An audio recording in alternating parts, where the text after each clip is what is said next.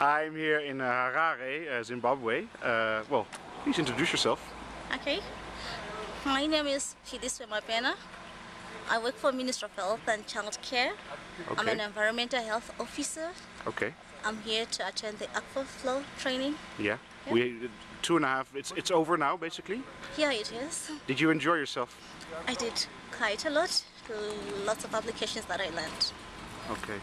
And and so, uh, how do you think you'll be using Flow uh, in the future? How I'm going to use it?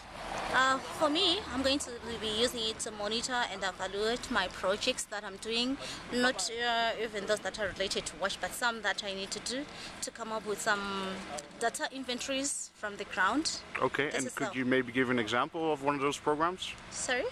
An Of- example of such a program?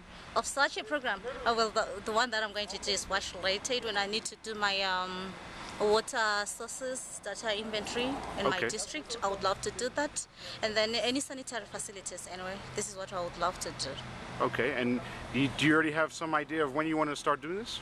Using it? Immediately, I can't wait to practice this, and I'm so happy I've been the user, so now I can go there and start creating surveys and coming up with data. Yeah. I really can't wait to do that. To me, as soon as yesterday is quite good for me. And for you also, no more paperwork, hopefully. No more paperwork. I'm so happy. You know, technology is really interesting. No one wouldn't want to do that, so I really am happy. I'd love to practice that.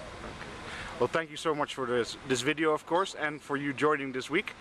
And uh, hope you enjoyed it. And I wish you all the best. I did. Thank you. I should be thanking you too for the skill. Now I'm skilled.